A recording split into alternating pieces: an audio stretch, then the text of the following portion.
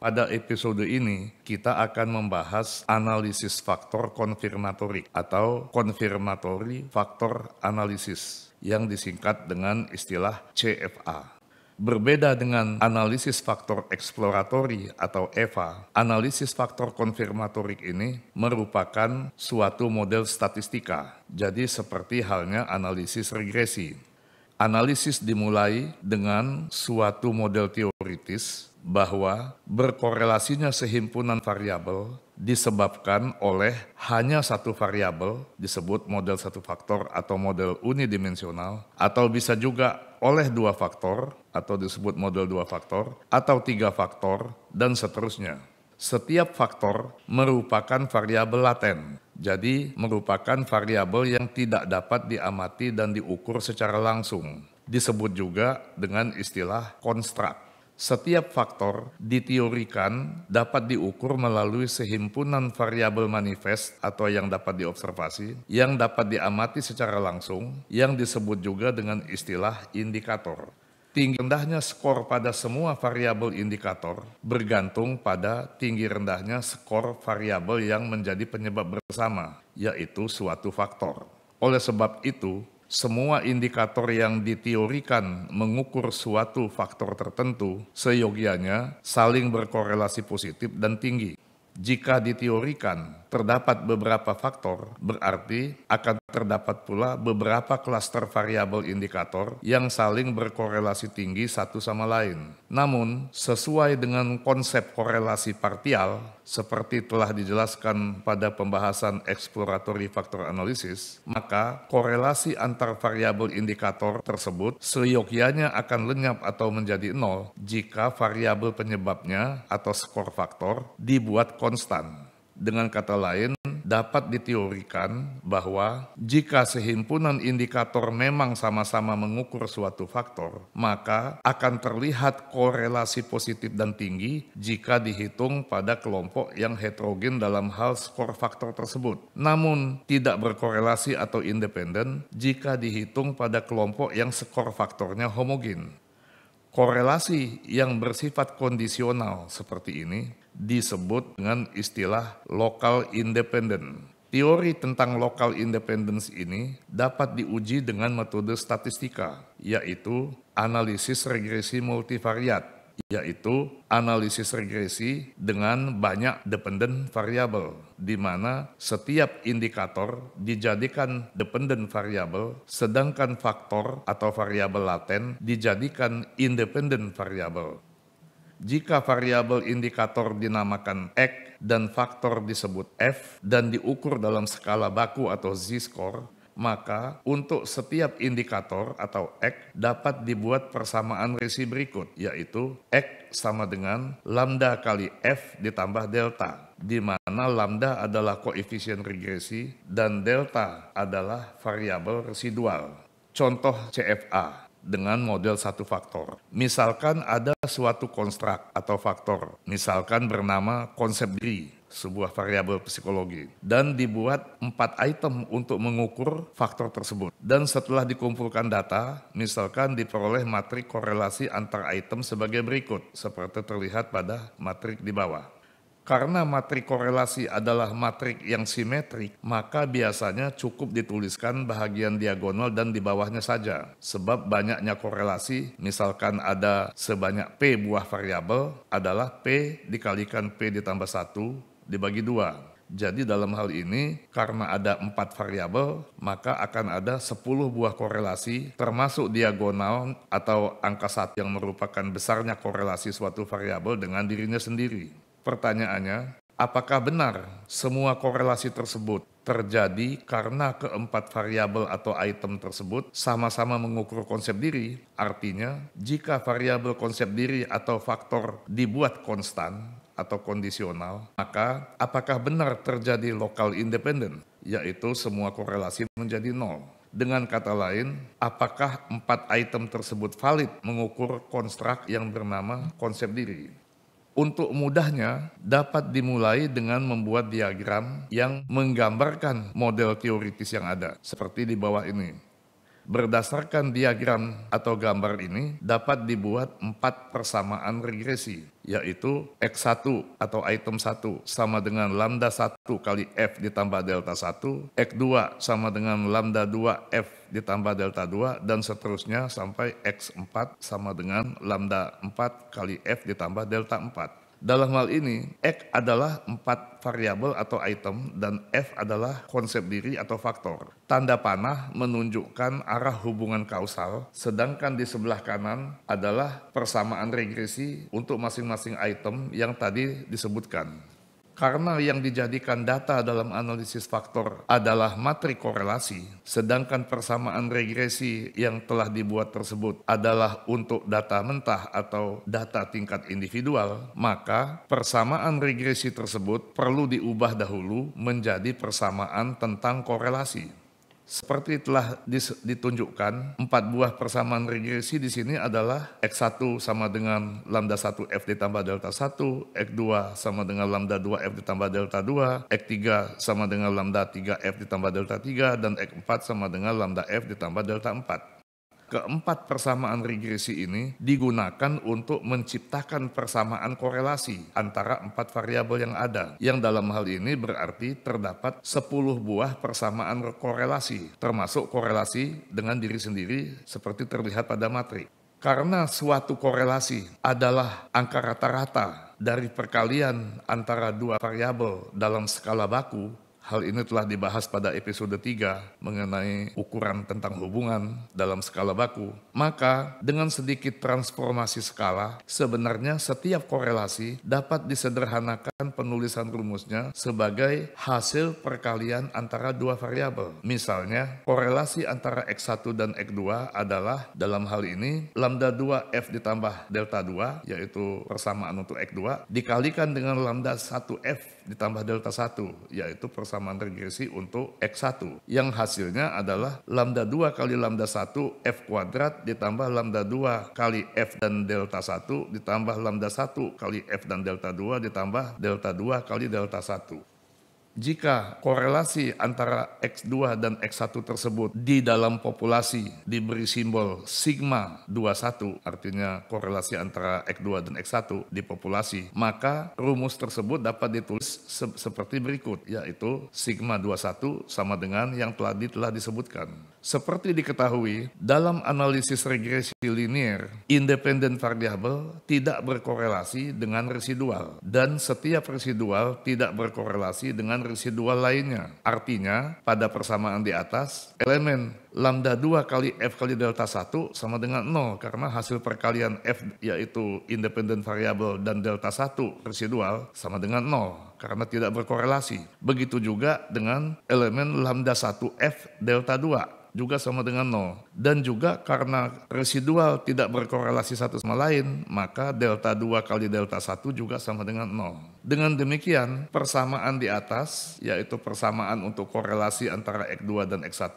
cukup ditulis menjadi sigma 21 sama dengan lambda 2 kali lambda 1 kali F kuadrat. Dan karena F adalah dalam skala baku atau z-score, berarti F kuadrat adalah varians yang dalam hal ini sama dengan satu. Maka lebih sederhana lagi persamaan dapat ditulis menjadi sigma 21 sama dengan lambda 2 kali lambda 1. Dengan cara yang sama, korelasi dengan diri sendiri, misalnya korelasi antara X1 dengan X1 itu sendiri adalah sigma 11 sama dengan lambda 1 kuadrat ditambah delta 1 kuadrat, karena lambda dan delta tidak berkorelasi.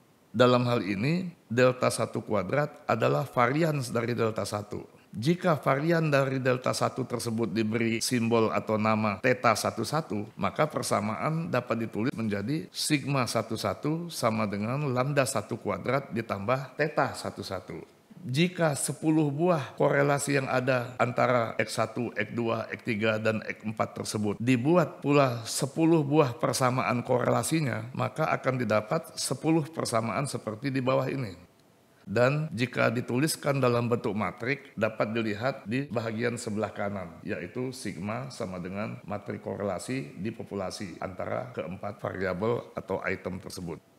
Kesepuluh persamaan tersebut dapat juga ditulis dalam bentuk matrik yang dalam hal ini berarti persamaan untuk CFA adalah sigma sama dengan lambda kali lambda ditranspos ditambah theta yang bentuknya secara lengkap seperti di bawah ini dapat dilihat bahwa hasilnya ke 10 korelasi yang ada persis sama dengan rumus yang tadi telah dibuat yaitu 10 rumus tentang korelasi. Hanya saja pada matrik ini ditulis semuanya karena matrik yang simetri di bagian atas diagonalnya pun kita tulis juga. Jadi misalnya pada korelasi antara X2 dengan X1 adalah lambda 2 kali lambda 1 sedangkan korelasi X1 dengan X2 di atas diagonal ditulis dengan lambda 1 lambda 2 dan seterusnya.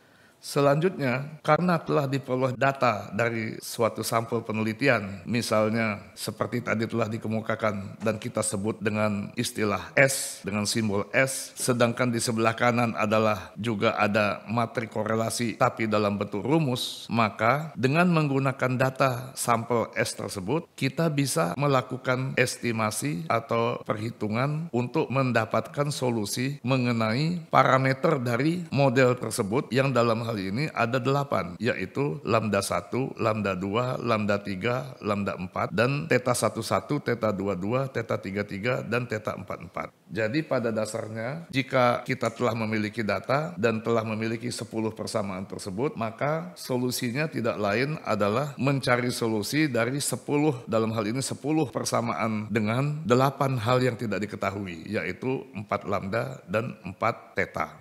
Dengan bantuan software, misalnya dalam hal ini digunakan software seperti Lisrel atau M+, maka untuk data di atas dan persamaan di atas diperoleh hasil sebagai berikut yaitu lambda 1 sama dengan 0,82, lambda 2 sama dengan 0,87, lambda 3 sama dengan 0,54, lambda 4 sama dengan 0,8, 0,58. Begitu juga dengan theta 11 yang dalam hal ini adalah 0,33, theta 22 sama dengan 0,24, theta 33 sama dengan 0,70 dan theta 44 sama dengan 0,66 dengan menggunakan hasil estimasi terhadap kedelapan parameter ini, lalu dapat dihitung ke 10 korelasi berdasarkan hasil estimasi yang telah dilakukan ini. Misalnya, sigma 11 rumusnya seperti telah dibahas sebelumnya adalah lambda 1 kuadrat ditambah theta 11 berarti sama dengan 0,82 kuadrat ditambah 0,33 sama dengan 1. Begitu juga seterusnya sigma 21 atau korelasi antara X2 dengan X1 berdasarkan teori adalah lambda 2 kali lambda 1 berarti dalam hal ini sama dengan 0,87 kali 0,82 sama dengan 0,71 dan seterusnya untuk ke 10 korelasi yang ada. Dengan demikian, kita akhirnya bisa membandingkan matrik korelasi yang diperoleh dari data dengan matrik korelasi sigma yang diperoleh dari hasil prediksi dengan menggunakan parameter dari model yang kita teorikan. Dalam hal ini terlihat bahwa misalnya korelasi antara X1 dan X2 pada data adalah 0,72, sedangkan korelasi yang sama antara X1 dan X2 menurut teori yaitu pada matrik sigma adalah 0, 0,71. Jadi selisihnya adalah 0,72 dikurang 0,71 sama dengan 0,01. Selisih ini dinamakan residual, yaitu perbedaan antara apa yang diprediksi oleh teori dengan apa yang menjadi kenyataan atau data. Dalam hal ini diperoleh dengan mengurangkan matriks S dan sigma. Hasilnya adalah seperti pada matrik ketiga di bawah ini terlihat bahwa hampir semua nilai residual adalah nilai yang sangat kecil, yaitu mendekati nol. Selanjutnya adalah dapat dilakukan uji statistik apakah residual yang diperoleh tersebut secara statistik signifikan atau tidak. Dalam hal ini misalnya kita gunakan tes chi-square dengan derajat kebebasan sebanyak dua, yaitu selisih dari banyaknya data atau persamaan 10 dengan banyaknya parameter atau hal yang nggak diketahui yaitu 8. 10 dikurang 8 sama dengan 2. Untuk data ini diperoleh chi-square sebesar 13,85 dan dengan DF sama dengan 2 diperoleh nilai probability sebesar 0,00098 yang dalam hal ini lebih kecil daripada 0,05 atau 5 persen berarti signifikan. Jadi, karena nilai chi-square memiliki probability yang lebih kecil dari 0,05 atau signifikan, yang berarti bahwa terdapat perbedaan yang signifikan antara matrik korelasi yang diprediksi oleh teori atau model dengan matrik korelasi yang diperoleh dari hasil observasi atau data, maka dapat disimpulkan bahwa model yang diteorikan, dalam hal ini model satu faktor atau unidimensional, tidak sesuai atau misfit dengan data atau kenyataan. Dengan kata lain, apa yang diteorikan yaitu bahwa hanya ada satu faktor saja yang menyebabkan mengapa keempat item saling berkorelasi, dinyatakan ditolak. Artinya, ada faktor selain konsep diri yang diukur oleh sehimpunan item yang ada. Kegiatan menguji atau mengkonfirmasi apakah yang diteorikan sesuai dengan kenyataan atau didukung oleh data dikenal dengan istilah test of goodness of fit atau disebut juga test of model fit. Karena model yang diteorikan dalam hal ini ditolak, maka tidak boleh dilakukan uji signifikan atau uji hipotesis terhadap semua parameter yang ada di dalam model tersebut. Artinya, uji hipotesis terhadap parameter pada suatu model hanya boleh dilakukan jika model yang diteorikan tersebut terbukti fit dengan data. Selanjutnya adalah masalah diagnosa dan modifikasi model jika kita mendapatkan kenyataan bahwa model yang diteorikan tidak fit atau tidak didukung data. Untuk mengetahui apa yang menyebabkan model yang diteorikan tidak fit dengan data, dapat dilakukan diagnosa atau analisis terhadap residual. Jika kita perhatikan matrik residual yang kita tampilkan kembali seperti di bawah ini, terlihat semua nilainya sangat kecil yaitu 0 atau sangat mendekati 0. Kecuali pada baris keempat kolom 3 yaitu theta 43 yang nilainya adalah 0,05 yang artinya terdapat korelasi parsial antara residual item keempat dengan residual item ketiga. Ini berarti bahwa item nomor 3 dan 4 saling berkorelasi bukan hanya karena faktor yang hendak diukur atau dalam hal ini konsep diri saja, tetapi juga ada faktor lain, misalnya karena memiliki konteks yang sama dan sebagainya, yang menyebabkan kedua item tersebut berkorelasi. Oleh sebab itu, model dapat dimodifikasi dengan menambahkan parameter baru, yang dalam hal ini adalah korelasi antara residual item nomor 4 dengan residual item nomor 3, yaitu theta 43 sehingga diperoleh model baru yang dapat digambar dengan diagram berikut. Pada diagram ini tampak bahwa ada parameter baru yaitu garis melengkung antara X3 dan X4 yang menunjukkan adanya korelasi antara residual X3 dengan residual X4 dengan cara yang sama seperti sebelumnya, yaitu kecuali di sini terdapat tambahan parameter baru yaitu theta 43 dan juga dengan persamaan matriknya pun yang sama pula, yaitu seperti dapat digambarkan di bawah ini. Maka dengan bantuan software komputer seperti Lisrel atau M+, kita dapat mengestimasi parameter dari model yang baru ini. Hasilnya adalah sebagai berikut, yaitu 4 buah lambda, di mana lambda 1 atau muatan X1 terhadap faktor adalah 0,82, lambda 2 adalah 0,88, lambda 3 adalah 0,54, dan muatan X4 terhadap faktor atau lambda 4 adalah 0,57 Begitu juga theta, yaitu varian dari residual juga ada empat seperti terlihat di situ. Dan tambahan satu parameter yaitu theta 43 yang dalam hal ini diperoleh sebesar 0,05. Dengan menggunakan parameter yang telah diperoleh ini, lalu dapat diprediksi matriks sigma. Dan jika kita hitung seperti sebelumnya, residual yang merupakan selisih dari matrik data atau S dengan matrik sigma hasil prediksi, maka diperoleh nilai chi-square yang jauh lebih kecil, yaitu hanya 0,25 dengan derajat kebebasan sama dengan satu karena kita menambah satu parameter. Jadi semula df-nya dua, sekarang tinggal satu chi-square ini memiliki nilai probability sebesar 0,87 yang berarti lebih besar dari 0,05. Jadi hasil akhir ini ternyata fit dengan data karena chi-square yang diperoleh tidak signifikan atau nilai probability-nya lebih besar dari 0,05. Dalam hal ini dapat disimpulkan bahwa empat item yang diuji validitasnya terbukti mengukur hanya satu faktor yang diniati yaitu konsep diri. Namun terdapat dua item yaitu nomor 4 dan nomor 3 yang selain mengukur konsep diri juga mengukur faktor lain. Karena telah diperoleh model fit, maka dapat dilanjutkan dengan uji signifikan terhadap setiap parameternya. Yang dalam hal ini, yang terpenting adalah koefisien muatan faktor atau koefisien regresi, yaitu lambda 1, lambda 2, lambda 3, dan lambda 4. Jika koefisien-koefisien ini signifikan, berarti item yang bersangkutan adalah signifikan dalam mengukur faktor yang hendak diukur. Yang dalam hal ini adalah konsep diri.